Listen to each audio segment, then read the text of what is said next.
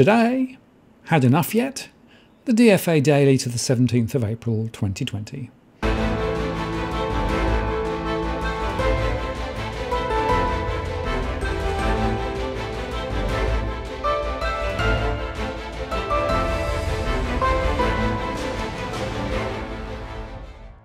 Hello again, I'm Martin North from Digital Finance Analytics. Welcome to the latest post covering finance and problem news with a distinctively Australian flavour.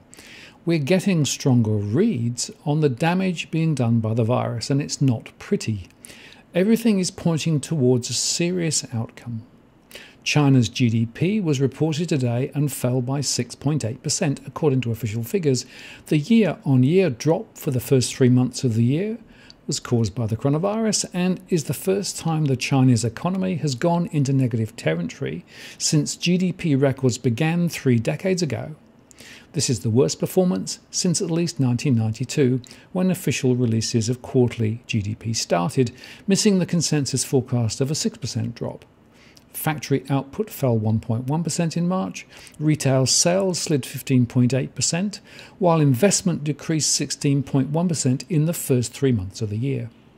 The sharp contraction underscores the pressure that Chinese policymakers face as they attempt to revive the economy without nullifying the efforts to contain the virus. The continued spread around the world also threatens to add fresh downward pressure on China's exporters in a feedback loop that could throw millions out of work. China's economy was forced into a paralysis in late January. The economy remained shuttered for most of February, with factories and shops closed and workers stranded at home. The process of resuming business has been disappointingly slow, and the return rate only inched up to around 90% at the end of March. To cushion the economic blow, China has unveiled a range of support measures although not on the scale of other nations. That included a 3.55 trillion yuan, or $502 billion, of low cost funding provided to financial institutions, 1.29 trillion yuan in pre approved local government special bonds, and 1.6 trillion yuan in cuts to various fees, taxes, and other things, according to the National Cabinet. The central government is also mulling other policies like raising the deficit to GDP ratio, issuing special sovereign bonds, and increasing the local government special bond quota in order to fuel a faster economic recovery. And according to a recent article from a senior official, exports fell less than expected in March as production capacity was gradually restored. But economists warn bigger headwinds lie ahead as the rest of the world shuts down and external demand diminishes. China's markets held gains after the release as investors digested the data. But then, are markets reading things aright? Well, Ambrose Evans Pritchard from the UK's The Telegraph says investors are repeating the mistake they made all through February and early March. They are again underestimating the immense economic shock of COVID. Can there be any parallel in market history to the surreal clash of narratives we saw this week? He said. Global bourses soared even as the International Monetary Fund painted a series of scenarios ranging from dire, the most violent slump since the Great Depression, to catastrophic, with all the potential chain reactions spelled out in its Global Financial Stability Report. And yet, Goldman Sachs tells us that COVID 19 is under control and the worst is over. The number of new active cases looks to be peaking globally. Projections of cumulative fatalities and peak healthcare usage are coming down, it said. And from this breathtaking premise, he says, Wall Street's fashion leader argues that we should look through the great lockdown to sunlit uplands ahead, anticipating a further 8% rise in the S&P 500 index by the end of the year we can disregard normal bear market rules. This time, we will avoid the textbook sequence of events in recessions a swift crash, followed by a torrid buy the dip rebound, and then a slow downward grind over months as reality hits home, ending only in capitulation at far lower levels. Authorities have spared us such a fate by rescuing everything immediately. The Fed and Congress have precluded the prospect of a complete economic collapse, it says. And he said, Well, I agree that the $5 trillion of central bank QE, vast fiscal packages, equivalent to 10% of GDP in the US, and blanket guarantees have averted a disaster for now. They have, in a disjointed way, bought both time and given us a chance of emerging from this sudden global stop without irreparable damage to the productive system. What is surely wrong is to imagine that this pandemic is a one off shock lasting three months or so, followed by an early release from lockdowns and a swift return to near normality. The first glimpses of antibody data, such as Denmark's tests on blood donors, shows that we are nowhere near the safe threshold of herd immunity. They confirm fears that the mortality rate is at least 1% of infections and that therefore no democracies can let the virus run its course without overwhelming their health services and destroying their political legitimacy. The proposed trade off between lives and the economy is an illusion. The most certain way to turn this crisis into a depression is to give up too soon, as Spain is already doing, and Donald Trump is also itching to do. We would end up in the worst of all worlds with multiple waves and another forced closure of the economy to invert a winter tsunami, requiring trillions more in fiscal relief. He says the only viable path is to contain the virus to drive the R0 transmission rate, the reproduction number that describes the intensity of an outbreak, below 1, and hold it down by East Asian means of testing, tracing, and isolating as we shift from an acute phase to a chronic phase. We are not close to achieving this. We lack the testing infrastructure at scale, even in Germany, and little is being done to prepare the public for tracking surveillance. We need a vaccine. Until we get one, the stock markets are in cloud cuckoo land, says Professor Anthony Costello from University College London. The IMF's most extreme scenario is all too plausible. It assumes the pandemic drags on with a second outbreak in 2021. This would cause output to contract by almost a tenth and set in motion a non linear response of financial markets, fund parlance for defaults, and panic. Public debt ratios would jump by 20 percentage points of GDP. The shock would push Italy's debt above 125% of GDP. Ratios would rise to 155% in Portugal and to 135% in Spain and France. And he said, in my view, such debt spirals among sub sovereign borrowers would render monetary union dangerously unstable unless the EU faced up to its Hamiltonian moment and agreed to fiscal union. The evidence is that Europe is not about to do any such thing. Markets are assuming that Germany and its northern allies will grumble but will always allow the ECB to keep covering club med fiscal deficits. But assumptions are treacherous. The IMF prefers to dodge this minefield, but its stability report lists plenty of other weak links. For starters, emerging and frontier markets are facing the perfect storm. Currencies have buckled, foreign funding has been cut off, outflows are running at twice the pace of 2008. Median debt is almost 100% of GDP, much higher than before the Lehman crisis. Most lack the fiscal firepower to backstop their corporate systems and to cover lost wages. Global banks were supposed to be bulletproof after boosting capital ratios, but the regulatory buffers were never stress tested for such a shock. They risk becoming the amplifier of the downturn as rising bad loans force them to pull back, starving the real economy of credit. Even if the worst is avoided and there is no secondary financial crisis, there will not be a swift return to normal.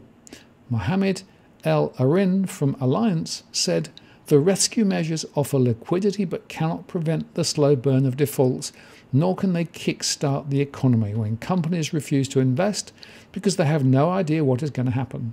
The market has yet to grasp that we don't come out of this where we went in. Earnings are structurally damaged for years to come. Equities are not worth the same. Some 17 million have lost their job in three weeks, and the Great Purge has yet to run its course.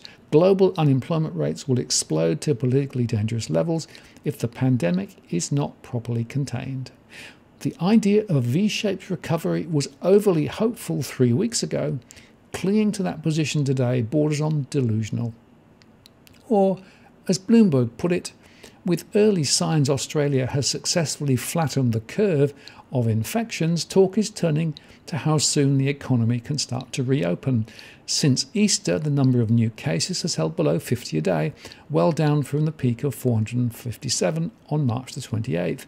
That has had some executives calling for shuttered businesses to reopen, while people who have spent weeks at home are clamouring to get back to the beach, the pub, or to the footy field.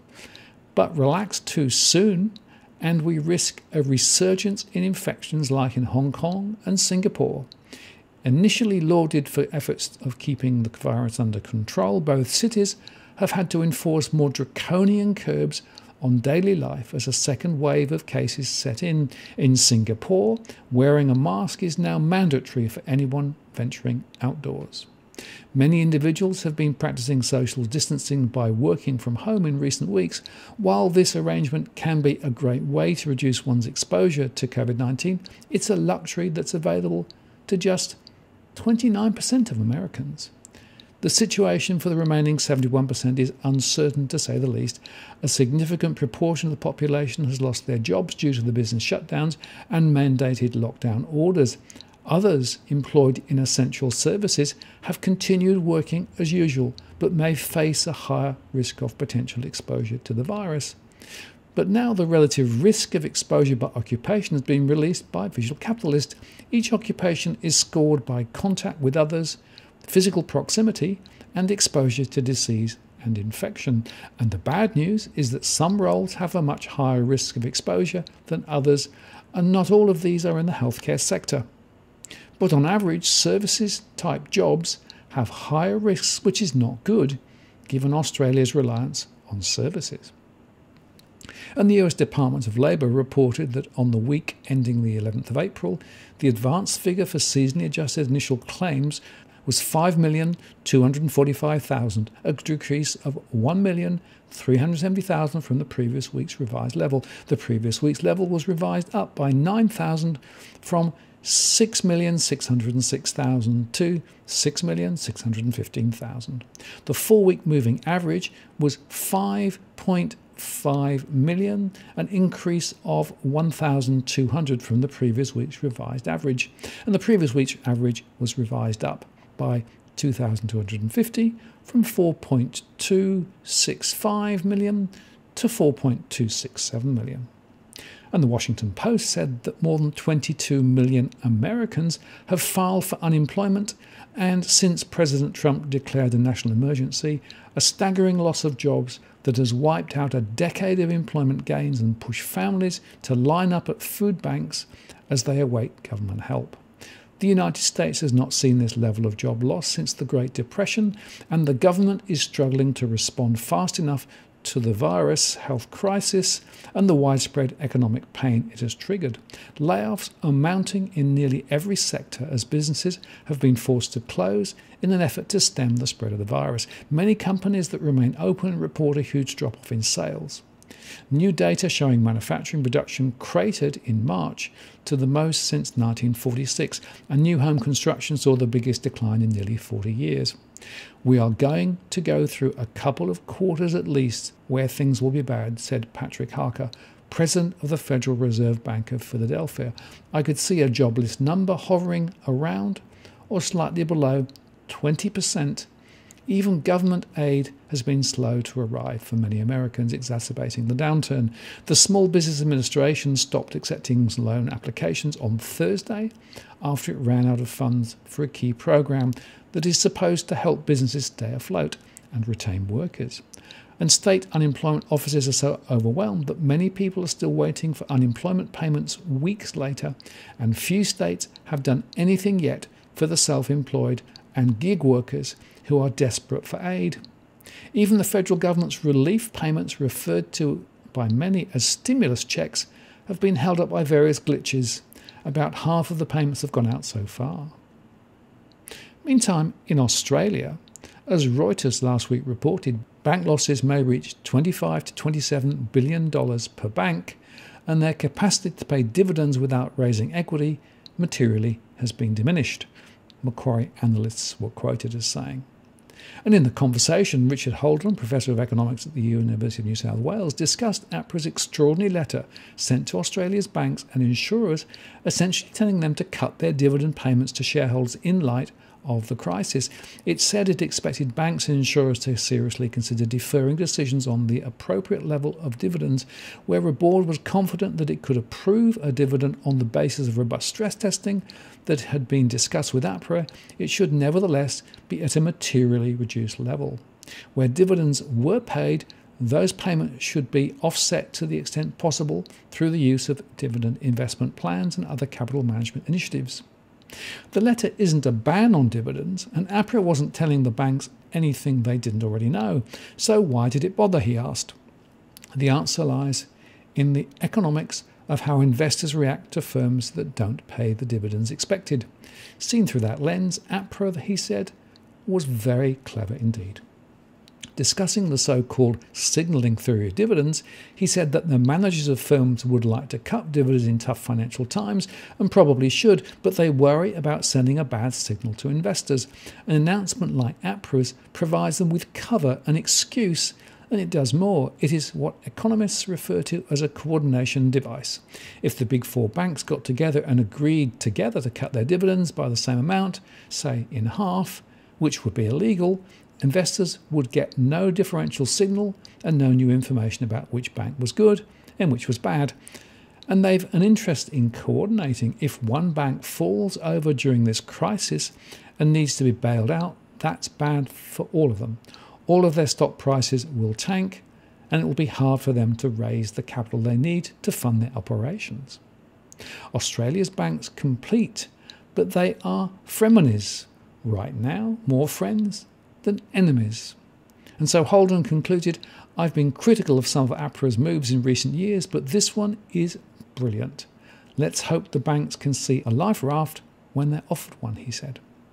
And in response to the regulator's statement, Westpac said that it has yet to make a decision regarding its interim dividend, while National Australia Bank said it would take APRA's guidance into account. Bank of Queensland said it would defer its dividend until the economic outlook is clearer and stress testing results has been discussed with APRA. And Citigroup earlier expected that without APRA's intervention, the Big Four may still cut dividends by as much as 18% in coming weeks due to the pandemic. And both the government and APRA have pressed super funds for quick early redemptions.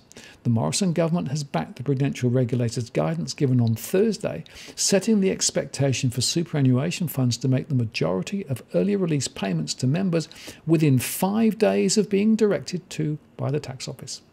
APRA, along with ASIC, have both published answers to frequently asked questions about the responsibilities of superannuation trustees during the crisis. Among other things, the Prudential Watchdog indicated that Superannuation Industries Supervisory Act requires a registrable superannuation entity license to pay the benefit to the member as soon as practical after having received a copy of a determination from the ATO.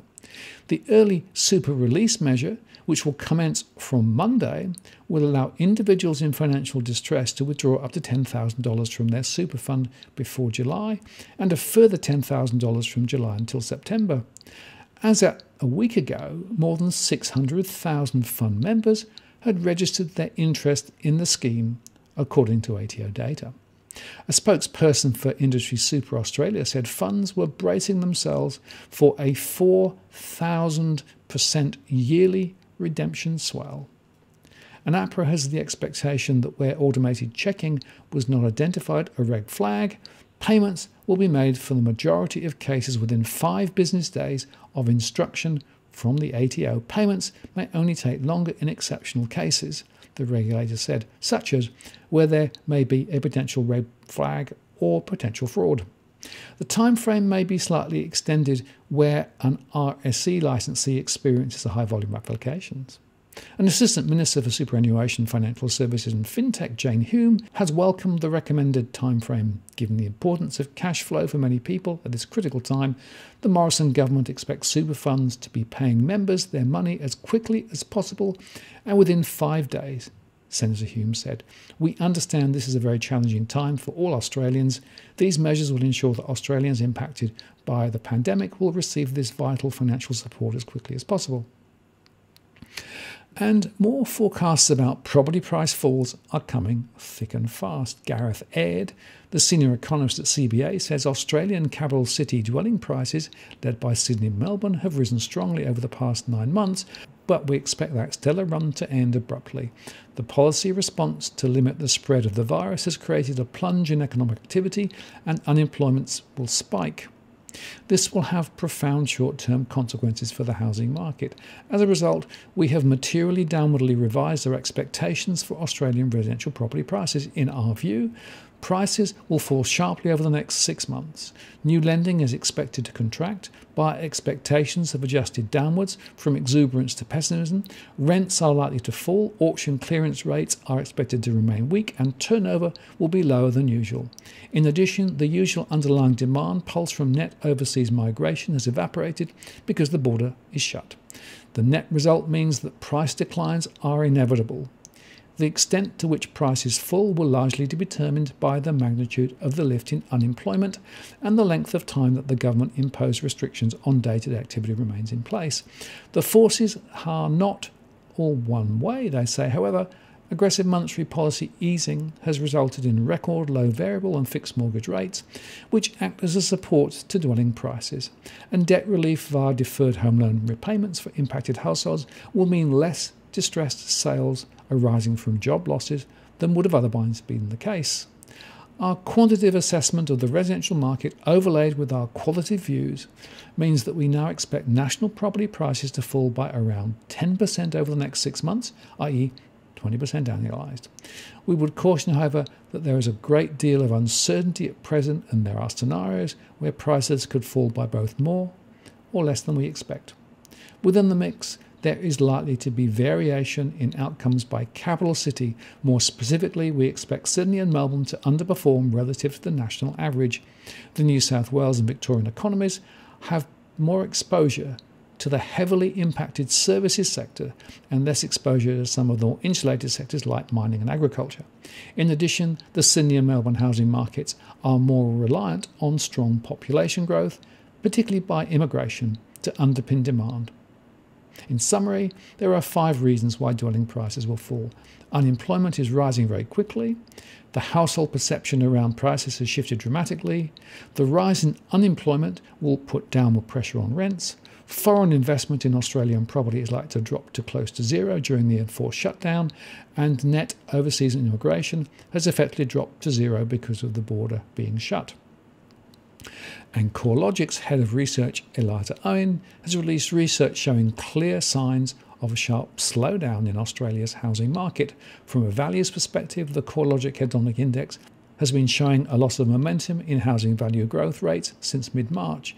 Data through to mid April has seen a continuation in this trend, with the combined capital city measure slipping into negative territory week on week for the first time since early August last year. In addition, agents' listings have fallen.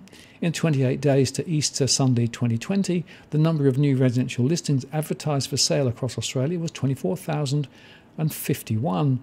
This is by far the lowest level of listings for this time of year in years and is 27.3% below the equivalent period last year. And valuations have slumped but in some cases this is a good sign. In the week ending the 12th of April, the total number of valuations ordered was down 24% over the week and 19.2% over the last year. In the same period, 75.3% of valuations ordered were for the purpose of loan refinancing, which suggests high volumes of borrowers looking to take advantage of record low interest rates.